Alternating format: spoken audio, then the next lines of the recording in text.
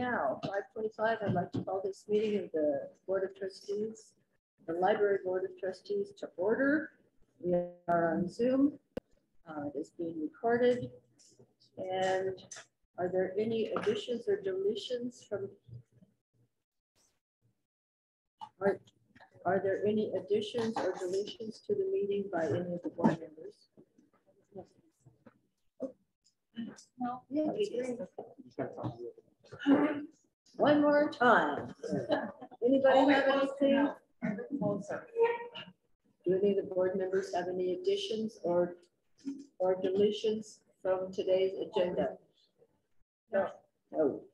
approval? Second. Agenda or minutes?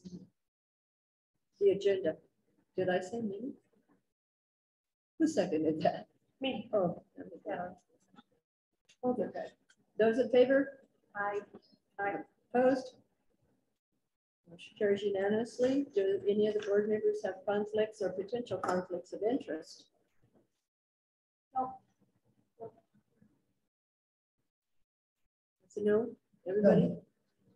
Okay, and uh, we don't have any announcements? Talk about? So. uh, Oh, I'm supposed to say, remember there's a sign-in sheet if you want to make comments, sign in. And if you give any three minutes to say your piece.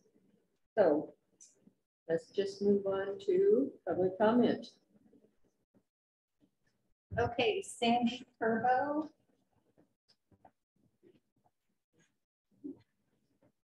I have a question um, from last uh, meeting.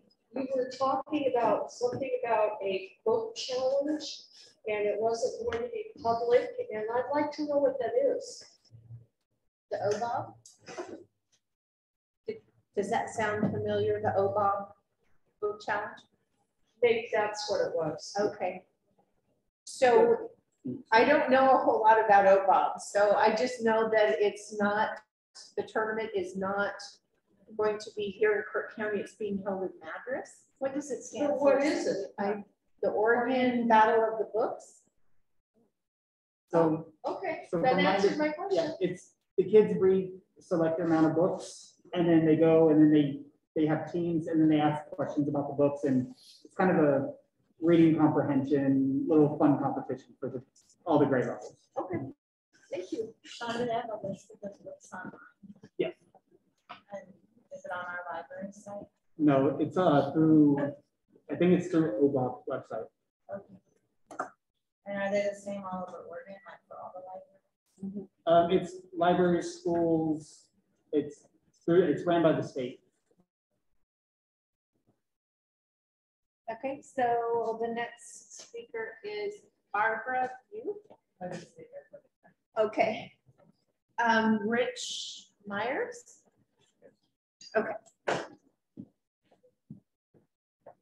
Thank you. I haven't been back to a meeting since December, but I've been following the weekly, the Wildberry and what's been happening. And I would just like to say thank you, first of all, to the trustees that supported running the library for all people. And I'd like to thank the staff and what they're doing without a leader in place. I think they're doing a remarkable job. And I just, everybody keep remembering that it is for everyone. It is for the public. Thank you. And I'm not sure who the next person is. Michael? No. Is it Michael? Western? Okay.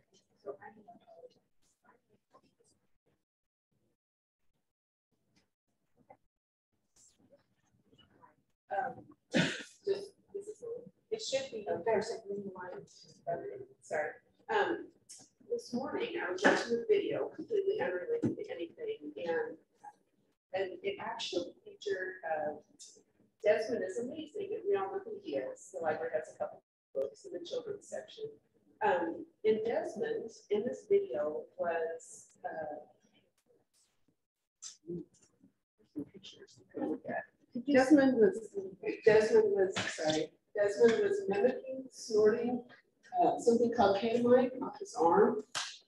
Um, and that was kind of startling, but when I actually went and found the video itself, um, he mentions that, but then he also mentions, uh, pedophile predators. And so my question is, I realize you can't police Desmond, but do we want books in the children's section? Right, a, a kid on TV that's mimicking snorting drugs. Uh, he's fifteen now, so I don't know what he's into, but I just, I'm just asking for review, if maybe that's really a good idea. And then What, excuse me? Uh, The, in order to have something reviewed, we have what's called a collections policy, and if you want to challenge something, you need to fill out one of the forms called reconsideration. Okay, so this isn't something the board looks at. No, To the library.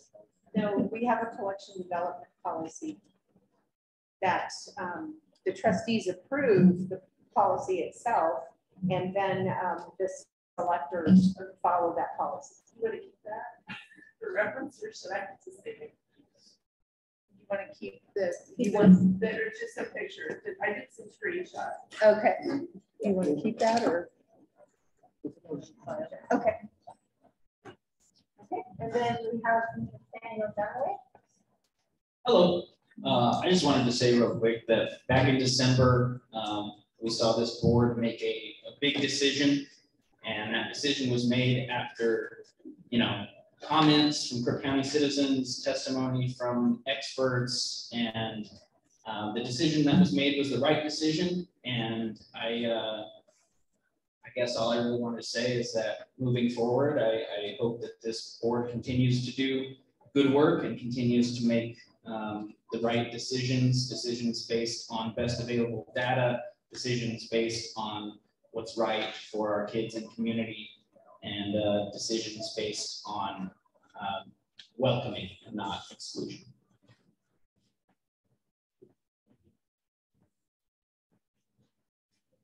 Okay, that was it. that's it. Comment. Okay, next item on the agenda is the consent agenda, which includes the minutes of the February meeting. Anybody have any comments on the meeting of February 9th? No? Second. I Have a motion by Deborah and uh second by Natalie. Do we have a vote, please? Those in favor? Opposed? None? Unanimously carried. Now we're into reports. Hey, we're just about on schedule still. Okay, first we have the Friends of the Library report. So- which- Are you gonna do it? Yes. Okay, unless you'd like to. Okay, so they had their meeting on February fifteenth, and they just kind of went over some of the activities that their members have gone through. Um, the treasurer's report was, uh, indicative of the support that they're getting at this time from new members. Uh, they're donating a lot of dues, and, uh, they're also getting a lot of donations for, uh, the prizes, the gifts and everything that they've got going on for their December sale. So basically, their um, income for December was, excuse me, January was two thousand thirty-seven. So that was going really well. Um, under committee reports, Chapters Bookstore, they do have somebody coming in on Fridays now. So they pretty much have a volunteer each day of the week. So that's been very helpful. For membership, they're now at hundred and seventy members. They sent out their forms for renewals. So hopefully everyone will have the opportunity to uh, renew their membership with the Friends. They're also going to be setting up a membership table in the library lobby. And that is just to make sure that they can uh, kind of get their organization out there for the public that are coming by. With the book sorting, they've been having a lot of success with their third Saturday sales. And their book donations are way down, so they're kind of concerned. They did a Facebook post asking for book donations. And I gotta tell you, they're getting a lot of books. Oh my goodness. Yes, which that is very good. Um, okay, so under publicity, Sean has been helping them advertise their book sales on the uh, lobby TV display. He's also been posting on our website and on the library social media. And he's also sending out monthly emails from the library to the Roundup, the Central Oregonian and Cornerstone, highlighting the programs and outreach, including the um, Friends of the Library book sale. So I think that's kind of helping things too. They do have another book sale scheduled for March 18th. So hopefully everyone can swing by. They're doing the uh, $5 a bag. So that's, you can get quite a few books stuffed in a paper sack. And that's a good deal. And then they've recently completed uh, governance roles and responsibilities for uh, board training. So they're excited to have some unknowns answered for them as far as running their organization. And then under smart reading, they are looking for volunteers to assist with grades K through five. One of the friends is also a smart volunteer, and so she's encouraging the other members of the organization to um, assist with that program. And then uh, they also wanted to highlight the accomplishments. So for volunteer hours, the board of trust, or yeah, excuse me, the board of directors had put in 130 hours and the chapters bookstore volunteers um, almost 100 hours. And then the non-board volunteers uh, is about 39 hours. And then the last piece they wanted to highlight is May at the museum. They're going to have two speakers in May, which will be Steve Lent and Randy Dunbar. They are very busy. Okay. I sort of had one question. Sure. Um, the training that they got, the governance roles and responsibilities, Mhm. is that something that the, a library association puts on, or was this something that they, that they found on their own? or- I'm, I'm not sure um, how they were guided to that particular session, but we can check and get back with you. It's called board bright training. Mm-hmm. Okay, no, I was just, just curious that, that they made a lot of inroads to Right, and I, I know that um, if the organization joins the United for Libraries, they, the board would have access to to trainings like that too. That might be working, so, yeah, cool, okay, thanks. Cindy. Oh, you're welcome. And I feel like I should know, know this, but what, is- like the friends raise money and do all these sales. Is the money, what is the money for? Is it for these events like hiring speakers or? So I'll let Sean take that one because he's the one that usually goes before them asking for funds. So if the library ever needs something, so one of the big things that they support is summer reading for teens and adults. So this year they donated forty-five hundred dollars. So all of summer reading is put on by them. If the library needs money for new seat we can go to the friends, ask them for whatever amount donation, and they'll cover that. So really, if there's a big program or we want a special speaker, they can help fund that. So that's where a lot of the, that's where most of the money goes. Okay, are a lot of those reading programs sponsored by the state as well? So the only reading program that's sponsored by the state is summer reading for kids. It's called the Ready to Read program. Yeah. And that's for fourteen and below. And half of the reading, Ready to Read grant, half of it is for early development, and then half of it for summer reading. So that's why they support the teens and adults. Thank you. You're welcome. So pleasure reports? Okay, so I just wanted to share with everyone that Words on Wheels just celebrated its first year of operation. And we do have several active um, patrons enrolled in the program.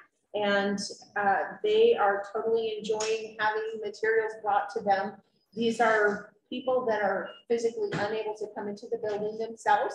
And so um, they've signed up for this program and we bring bags of books to them, um, authors that they've requested, uh, titles or anything like that. So it's, they're really appreciating it. And uh, the original WOW team, as we call ourselves, WOW team, uh, was Amber and Renee. And so between the three of us, we have been through the pilot program, moving forward, and we can't wait to see uh, as we start doing more outreach where that takes us. So um, I just wanted to say thank you to Sean because uh, the staff have been doing a great job holding the fort. Sean and I have been expanding our leadership skills by attending all kinds of budget workshops, goal setting meetings, and participating in IT strategic planning. It has taken the two of us out of the building quite frequently. And so it's been really helpful that staff is so supportive and so knowledgeable in their own jobs that they can just kind of keep the ship going. And then for facilities, I just wanted to point out that the HVAC system upgrade is almost done. This is the last week they should be finished with it by Friday. Um, there is a little bit of, uh, they have to sync things up in the spring when the weather's warmer, because right now they can't do that, but they've got everything installed. They're making sure that all of that is um, connected properly and going to do the job. So this will be the first time that we've had actual heating and cooling that's functioning normal. So that's been good. And then maintenance also came by and installed a dimmer on the lighting at the front counter. When they first installed those rings, the LED rings, uh, the ones over the counter were too bright. And so they were able to install the dimmer to tone it down just a little so people could work at the front counter without getting a headache and then people stepping up to the counter weren't just overwhelmed because the granite was reflecting that LED. And um, they also, maintenance had installed these roosting kind of like spikes to discourage our overnight visitors. For those of you that use the after hours book drop, you may have noticed the, the nice ground cover that the birds are providing. And yeah, so they've got the spikes up there trying to discourage the birds from roosting on those giant bolts that are holding the beams. And for the most part, it's working. I did notice that we had a friend there the other morning, but um, that's really when the weather warms up. Of course, they won't be roosting there, but during the winter time, it just makes that area really not pleasant to be around. And I just wanted to um, give everyone a hiring update. So maybe you've been contacted by HR. I gave them all your email addresses um, so that they could start setting up interviews. Uh, they're actually moving along with that and hopefully we will have a new director soon. So I'm excited about that. And there was just one other, um, I think at the last meeting, Laquita, you asked about where we stood with the um, Oh, key yeah. cards. Yeah. And so maintenance right now has been being pulled here, there, and everywhere, especially with the Justice Center. So they've kind of, it's on their to-do list. They just haven't exactly moved forward. So they, they know that the Justice Center is going to have those types of locks. Oh, okay. And so once it's installed there, then they'll have a better idea of, of um, the other departments because this is something that's going to happen to all of the county departments. Oh, okay. So yeah, that's where we stand with that one. And then we did um, just a kind of an update. Uh, we had maintenance wandering the broad room. We were talking about a few things that needed improvement. And um, it was pointed out that there was a hole in the floor in the Oh, broad yeah. room. Oh, And yes, so when noticed that. when we looked at it, um, where that plug-in box was in the flooring, it had come loose and dropped to the subfloor. So anybody that had lifted that, there was going to be this giant hole that went down to the subfloor. So maintenance came down, they got that fixed today. And so everything's like, we're all set now. And that was pretty much it. Um, did anyone have any questions about circulation? Sort of. Okay. Um, you talked about words on wheels. Yes. Um, question, I may have asked this before and just plain forgot. Is there a distance requirement? How far you guys will go out to deliver? So during the pilot program, it was limited to um, within city limits because we weren't sure how the program was going to play out. And we only had um, two staff at that time committed to the program. Um, But once we beyond the pilot program, we incorporated the entire county. So it's open to anyone up to River Canyon, anyone out in Mackay. I mean, just, if there's someone in need. Clear of Good. And are you still working with uh, Meals on Wheels? No, Okay. Uh, what was the? That's a question. No distance requirements, so anybody that has a card can ask. Yes. If they meet the requirements. if they meet the requirements. Anybody else have any questions on circulation? I was uh, looking at the statistics, and it appears that February's uh, activity was about a third of what it was two years ago. I Wonder if there were any thoughts on that. I would need to go back through past spreadsheets um, to try and determine that. Um, I know that we've had, of course, it's a shorter month, so that may be part of it, but I know that um, with Deschutes doing all of its remodeling, it has impacted us to a certain extent as far as the paging list, the courier, and then um, checkouts themselves, so. But I can get that information to you next month. Sure. Okay. Services. All right, so for public services, um, some of the big things that we're working on, so summer reading, um, the team has, is gearing up for summer reading. Uh, we're currently trying to recruit partnerships to enhance our programs, our, our regular programs and our summer reading specific programs, as well as outside partnerships. Um, promotion for summer reading will start around early May, so we can, um, test the schools before school gets out. Um, promotion for programming has been a work in progress. Uh, we're working on getting promotion out earlier. Uh, we, we should have April's programs on the library's calendar within the next couple of days. So we're trying to get out a month in advance.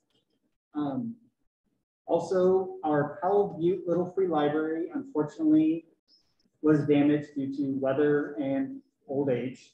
So we're currently getting that fixed up. That should be done hopefully in the next week. We found someone who will fix it for free for us, which is really nice. Um, for programming outreach, youth programming continues to grow outside of our regular monthly programs, which have been well attended. We started our uh, Paws of Prineville program, which is Read to the Dog. Um, that was very successful on the first one. So we have them now scheduled out for monthly, and then we're going to transition to weekly during the summer reading times. In addition, we hosted a stained glass window painting program for kids where they made stained glass artwork out of pasta. Uh, we're getting ready for the dino exhibit that will be starting in um, sorry, late April, early May. The dino exhibit is a very large exhibit, so we're sharing half the exhibit with the Bowman Museum. And we're storing a lot of the very delicate stuff at the museum just to help keep it safe. And then we'll be hosting, um, and the, one of the benefits of hosting at the Bowman Museum is that allowed us to schedule school visits because it's a little bit bigger area. So um, we're gonna have some school visits, come down and check out the dinosaur exhibit. Team programming is going well with our uh, SIT program, which is Snacks in the Stacks. Uh, February was a very busy outreach month for our team librarian, Katie. During the month of February, Katie visited the Crook County Middle School and participated in the middle school health fair, and they hosted a book tasting with one of the English teachers. She was able to connect with 800 students at the health fair and 225 students at the book tasting. The book tasting was a huge success, and we have another one planned for this month. In March, Katie will be hosting her regular monthly programs um, and outreach, and she has added a special program. She's going to be hosting a murder mystery party at the library. So she's got some kits for the kids to kind of figure out. And then adult programming saw an increase in attendance in February. Um, we offered a variety of different programs. One of the programs we, we saw was the music in public places. The library hosted the 27th brass quintet, which saw about 70 attendees come. So we know the music in public places is very popular, it's well attended. And so we have them scheduled for April, and then we're looking to schedule them throughout the summertime too. Um, Way to get some classical music. Um, they play a whole bunch of different, different types of music, so um, it's kind of nice to bring that into the library. Any questions? Yeah, what, six? Six is, it previously was uh, Team Tuesday, Okay. and because of all those conflicts outside of the library, we moved it to Wednesday, and they had to change the name. So it's basically a time for the kids, uh, the teens, to come into the library, browse books, connect with the teen librarian, um, explore resources, eat popcorn, and really just hang out at the library. Um, I know last week's um, Snacks and the Stacks, we had 16 teams in the team room, which is a lot for teams in the library, so, which was really nice. I know this one, we had seven show up, so um, it's starting to get more and more popular, and I think a lot of the kids just, they just like hanging out in the Anybody have any questions? I have a comment, question about an earlier question uh, regarding the circulation statistics and the way they're reported. So we were just talking about like, these are single day numbers, but it looks like that um, February twenty twenty-one, there were two hundred and eighty checkouts. Whereas February twenty twenty-two, there were hundred and eighty-seven, but those are single day checkouts. Yeah, those are the high lows. I, I misread it, so thank you, Natalie. Yeah, and I honestly don't really understand all these numbers. I mean, it's really interesting. Actually, I'm like making notes of like which day should I come to the library, but I'm like, that high day, I think that's when I came to the library. I probably checked out like fifteen books, so sorry for that. Um, But what's the like items listed? So let me get back to my spreadsheet. Sorry, I I just kind of threw myself off over here. Okay, so the paging list. Um, those are the items that show up, that we run this list each morning. Um, they're, we pull them to fulfill holds, whether it's on site or if they're leaving the building. Um, that one is definitely seen an increase just because of the closures of Deschutes.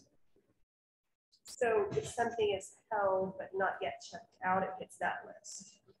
So the, the paging list, those are, the paging list are items that are leaving the building. So it's a list that's generated. Well, specifically the statistic, two hundred and sixty-six items listed.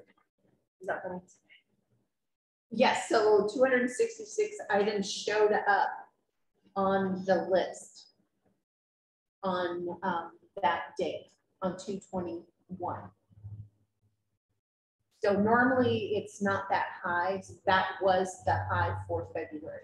So the low, we only had eighty items on the list, but that was February eleventh. Saturday, interesting.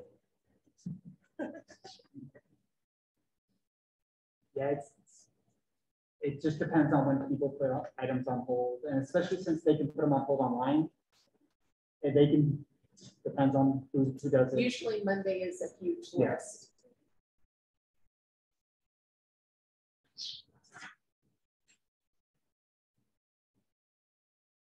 I wanted to just further add that the um, checkouts in February did increase from twenty twenty-two. For my review of my papers. Okay, so that's Yeah. exciting. Good on you.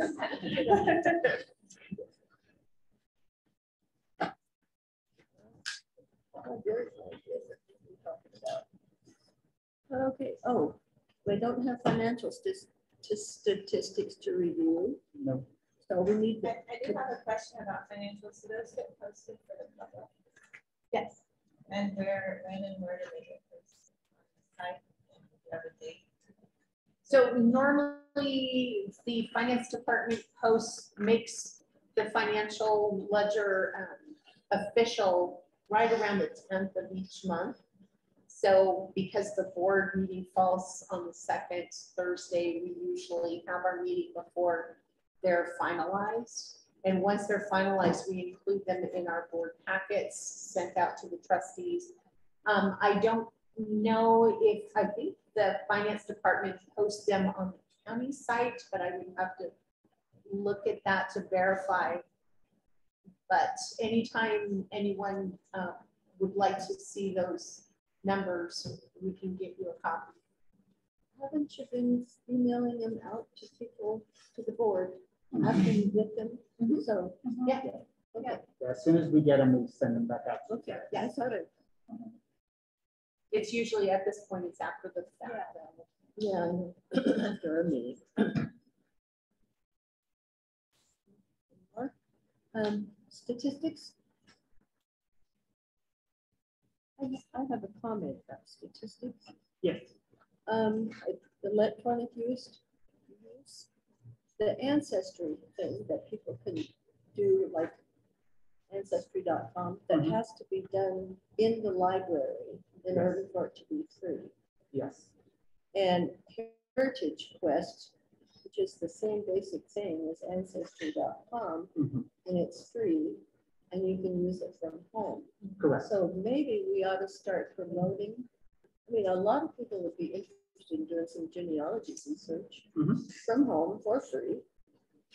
Uh, But maybe they just don't know about it. There were only thirty-eight uses since, I don't know when.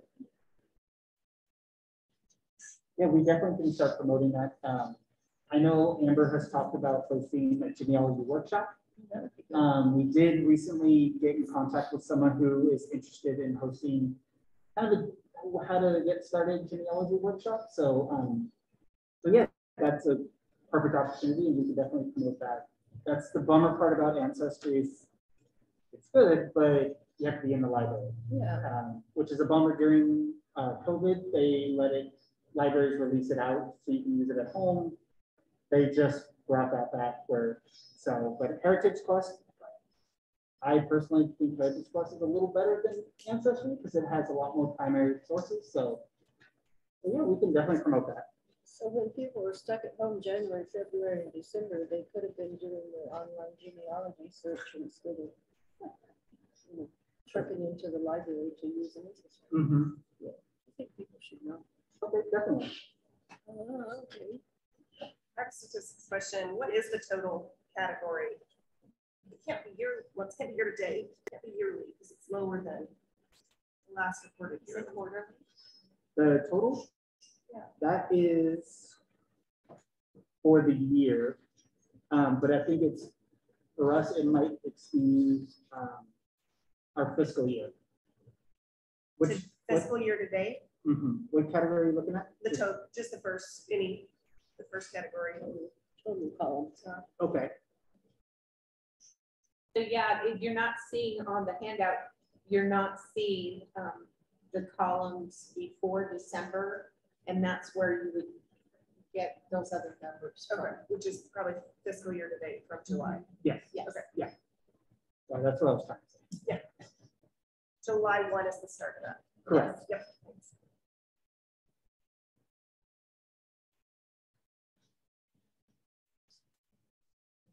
Anybody else? Questions, comments?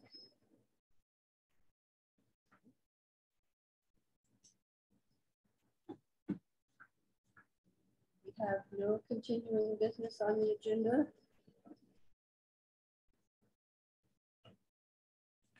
Correct? Correct. There's nothing? I-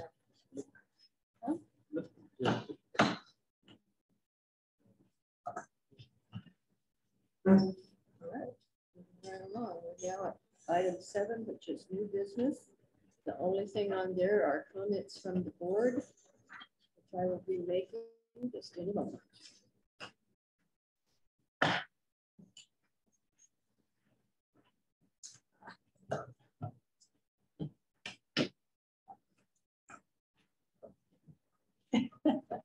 Okay, stiff fingers.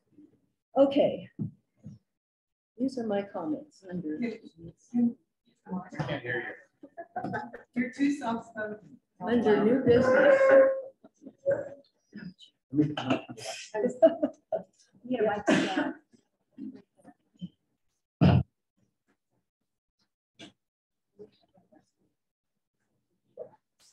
Maybe we should fix something with this. Hear me now. Yeah. Yes, okay. At five AM on the morning of February twenty-fourth, twenty twenty-three, I sat down with my first cup of coffee at my computer to read the news from my favorite news sites.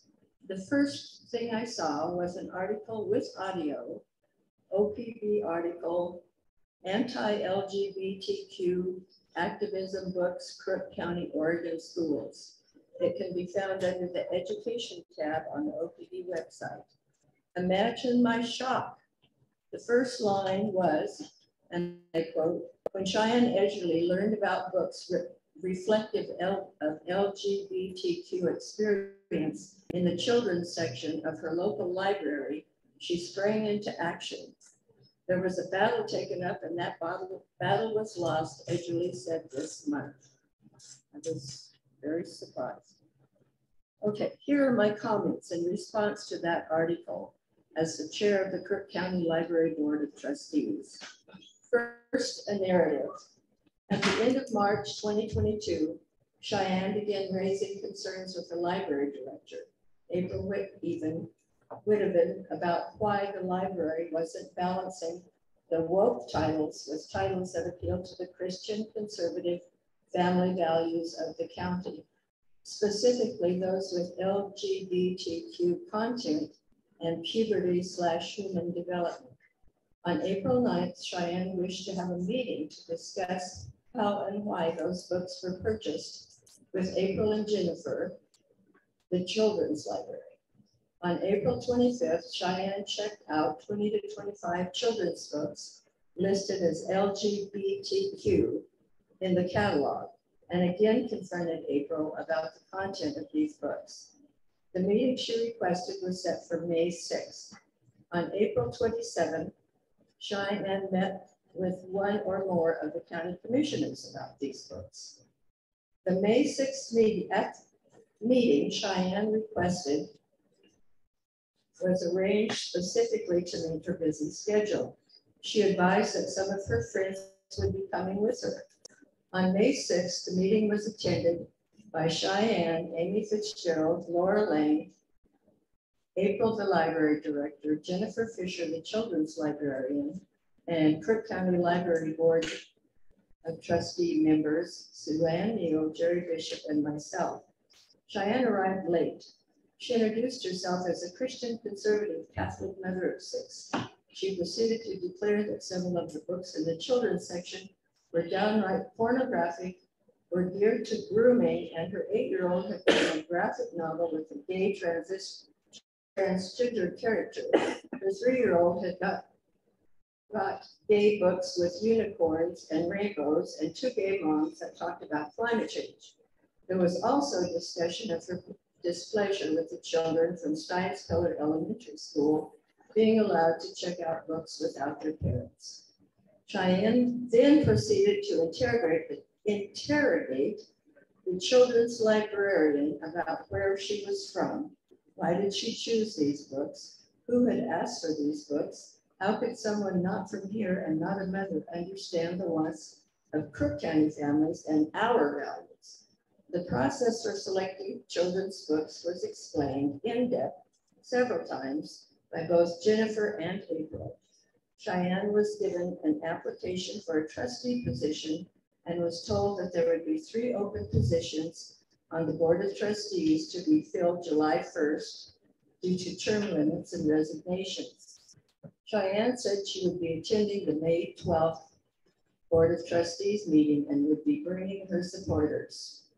I later learned that Cheyenne had been telling her Bible study group that April and maybe Jennifer were gay and had used the COVID closure of the library to pursue the purchase of LGBTQ books for the children's section.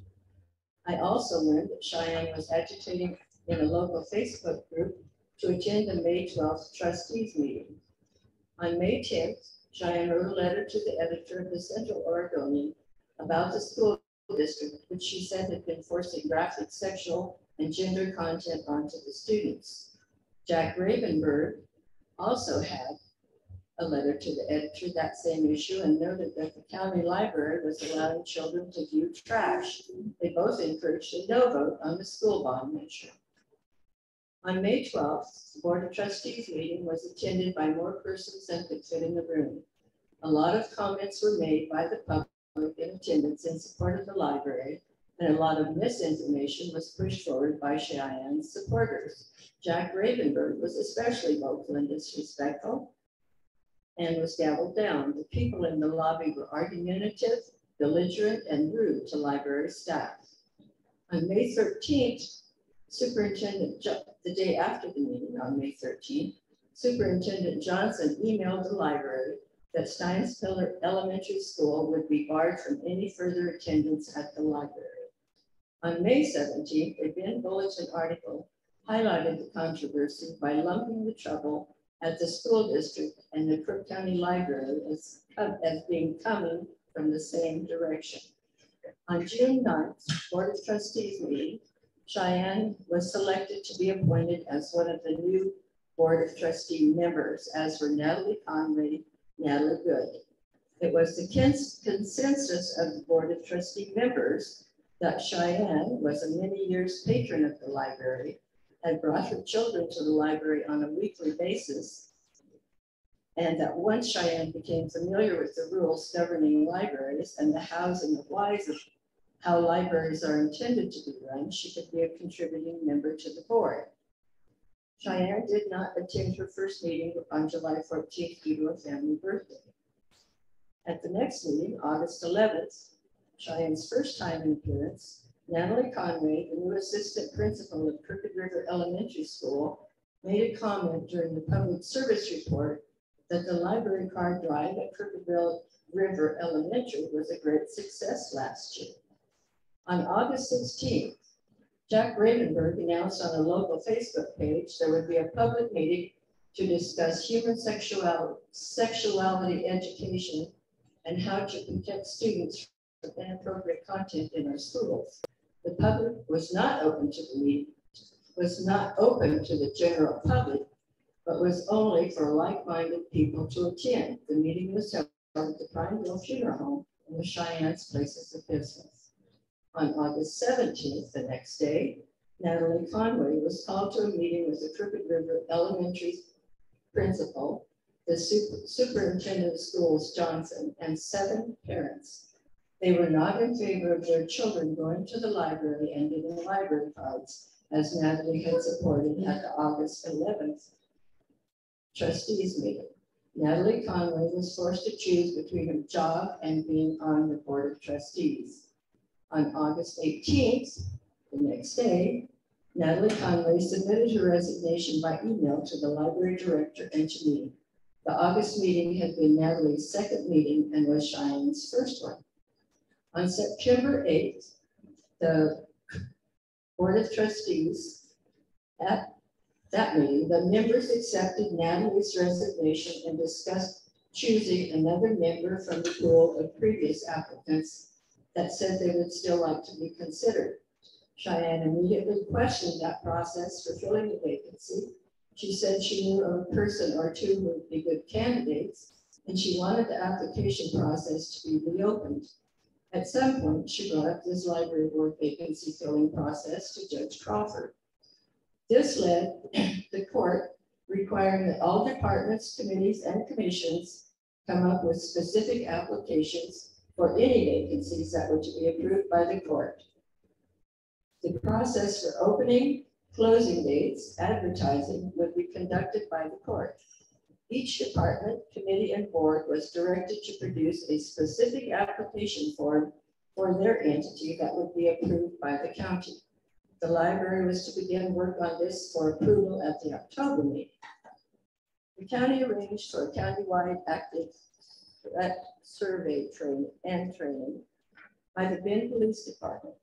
On September 16th, the library had that training and due to recent tension and behavior by some, the management team asked for an additional walkthrough and recommendations that would help to keep ensure staff safety. Those recommended recommendations included key card locks for the staff offices and film for the inside office windows so staff could not be observed while doing their jobs. It is my understanding that the cost will not come out of the library budget, but will paid by the county and that these safety upgrades and worker installation is currently out for bid. At the October 12th trustee meeting, both Sandy Kerbo and Michael Custer, who had checked out a bag full of LGBTQ children's books with her new library card, both raised questions as to why these particular books were ordered for the library. They were again referred to the collection development policy and advised of the request for consideration form that could be submitted, just as they had been told at each meeting of the Crook County Library Board of Trustees since Um, May. Rita, I have a question. Are When the you matter- allowed, you allowed to give Out of order. information Out of order. for other people? Are you allowed to do that? Because we just quoted public people that checked out library books. Is that breaking library board policy? Are you allowed to tell what other people checked out? Finish. Thank you. when the matter was first brought up. Okay. At that meeting, the trustees were asked to adopt the court's new ordinance regarding future vacancies on county boards and commissions and to consider what questions they would like to have on future applications for trustee positions.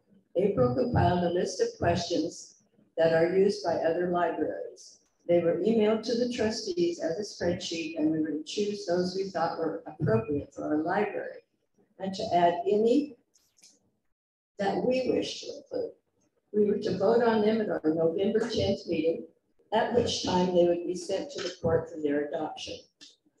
On October 13th at 10:01 a.m., Cheyenne sent an email to April, the trustees, Judge Crawford and Jerry Brummer, asking who had come up with these questions, three question marks.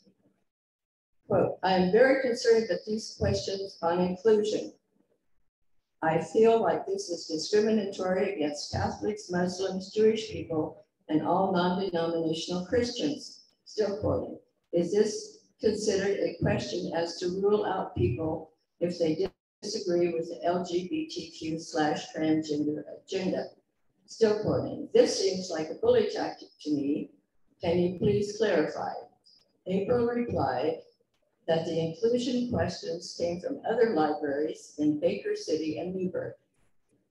At 1024, Cheyenne sent another email to those same recipients. It was a link to an article from the New York Post dot librarians dash go dash radical at new woke policies take over experts. At 10:52 a.m., Cheyenne sent another email to the same recipients. She stated, I quote, I feel the inclusion question does not represent the majority of Crook County citizens. Still quoting, it was brought up to my attention that several of the people who showed up in support of the LGBTQ agenda at the May meeting were not from Crook County, but were brought in as an all call from Redmond, Madras, and Bend. So for them to give input to Crook County Library was invalid.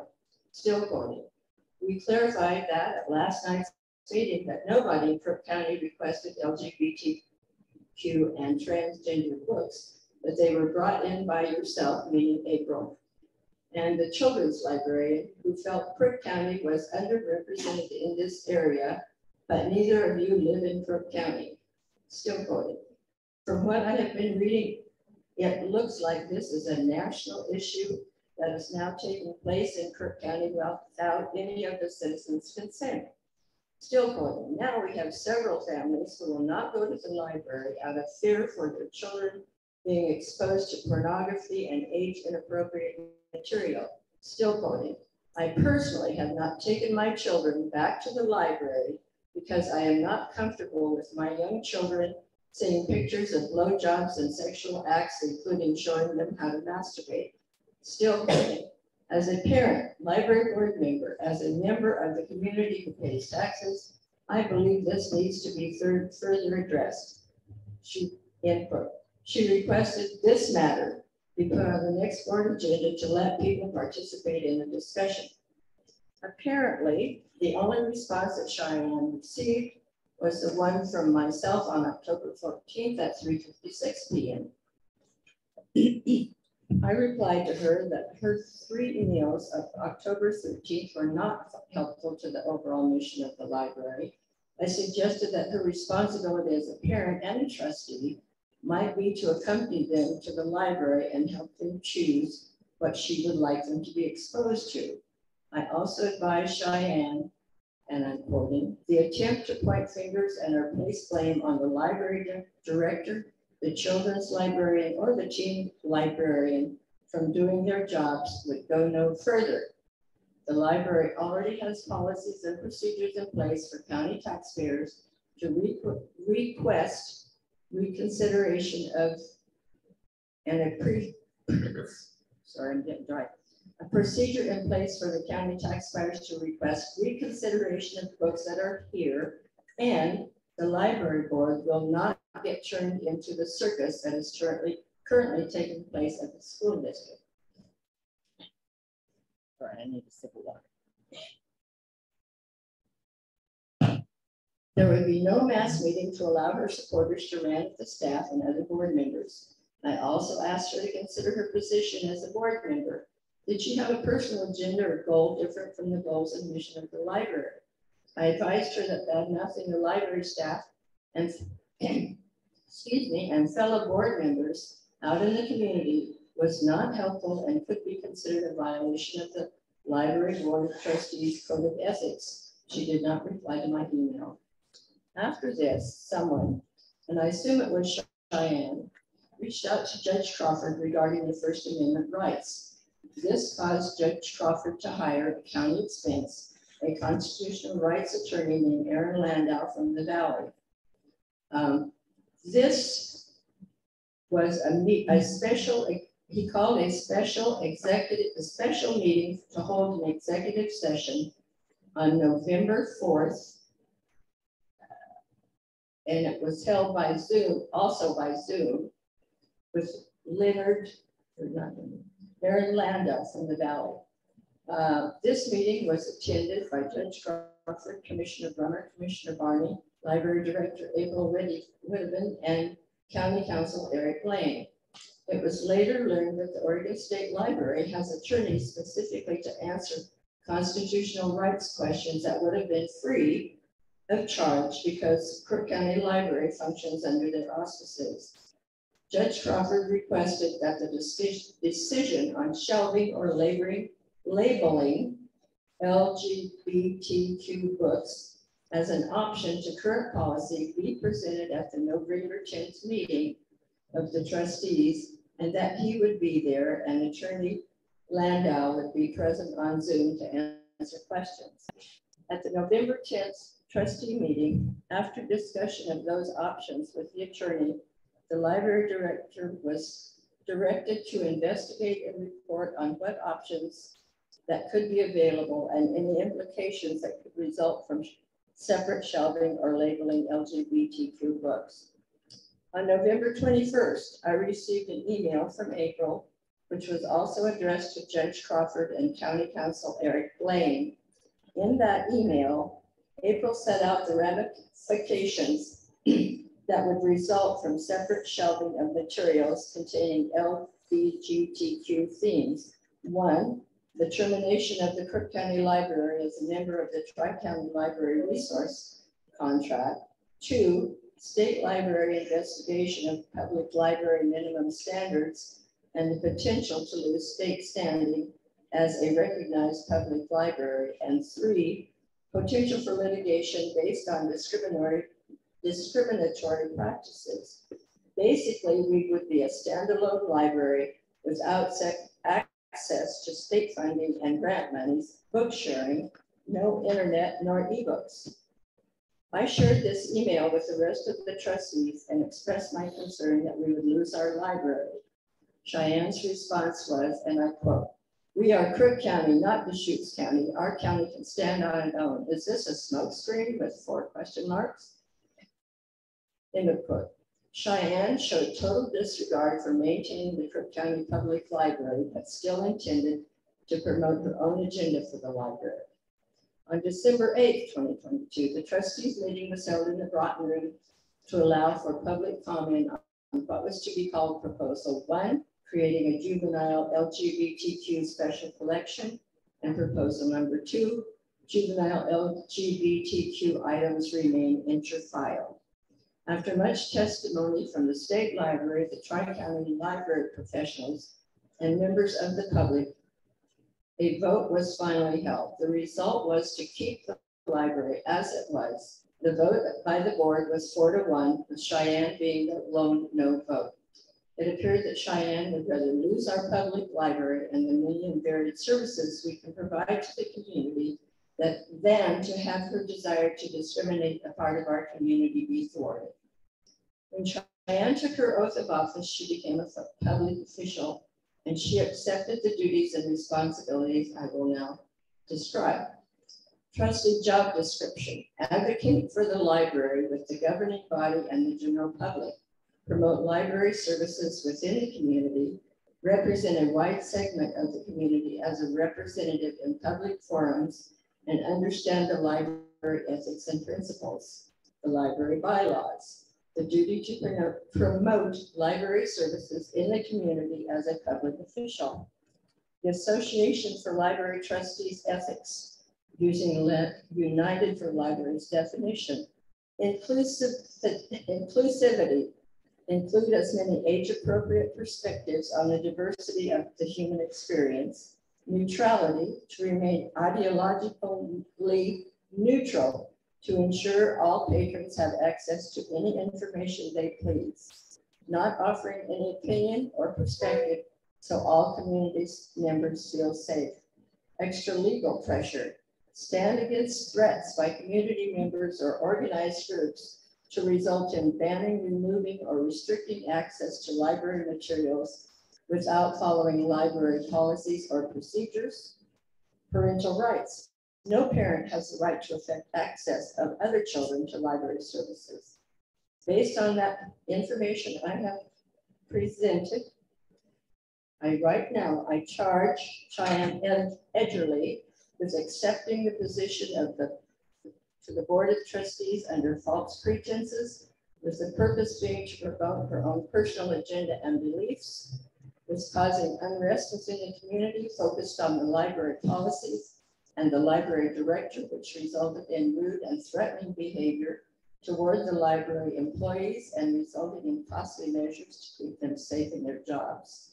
This causing the forced resignation of Natalie Conway, a duly appointed member from doing her civic duties, was making slanderous comments about and causing the untimely resignation of the library director, April Whittington, which put unnecessary burden on the overall operations of the library until a successor to that position can be found. With devious and underhanded attempts in the community to undermine the library staff and her fellow trustees, Cheyenne used her position on the Board of Trustees to promote her personal agenda, stir up hate and discontent within the community, and not for the benefit of the library, its patrons, nor the citizenry of the county in general. In Cheyenne's interview with OPB on February 24th regarding the Crook County Library, she stated, and I quote, there was a battle taken up and that battle was lost, end quote. I say yes, yes, Cheyenne, I hereby request, that, or the battle is lost and I hereby request Cheyenne Edgerly submit her resignation from the Crook County Library Board of Trustees to the County Court prior to the April 13th, 2023 trustee meeting. If her resignation has not been submitted by that date, I will then ask for a vote of the trustees to re recommend to the county court that Cheyenne Edgerly be officially removed and that her membership be terminated. A copy of these comments will be forwarded to be forwarded to County Counsel Eric Blaine for his consideration. I'm not done. My disclaimer. The comments and conclusions that I have made here are my own, based on my own documentation of events, information provided to me by others, and emails that I have received, copies of which can be made available if requested. I would also note that in my reference to the county court special meeting executive session that was held on Friday, November fourth, twenty twenty-two, I was only made aware of the outcome of that meeting. I was told by the library director that George- Judge Crawford and Aaron Landau had requested to be added to the November tenth trustee meeting agenda to answer questions. I state this to avoid being interviewed by the sheriff again when the former library director was falsely suspected of violating the confidentiality requirements of executive sessions when dealing with personnel matters. Next item on, on the agenda is new business. If anyone present has anything they want to put on the next month's agenda, please email, email either Cindy or John, and they will put it on the agenda. Uh, I would now call, we're on item number eight, which is, oops, number nine, which I now call for adjournment. Do I have a motion to adjourn? No comments? Motion to adjourn. Fredo? No. the No, I just Do we have a respectfully second? want to correct the record. I, I'm Sandy Turbo. I renewed my library card and I checked out an audio book by Colleen Coble, which is a, all Hold your comment until we get a copy of that. All right, well, one second. we know. The next item on the agenda is adjournment. Okay, we have a motion by Deborah. Second by Natalie to adjourn. Those in favor say aye. Aye. Motion carries. just ask for the Meeting is adjourned. At the beginning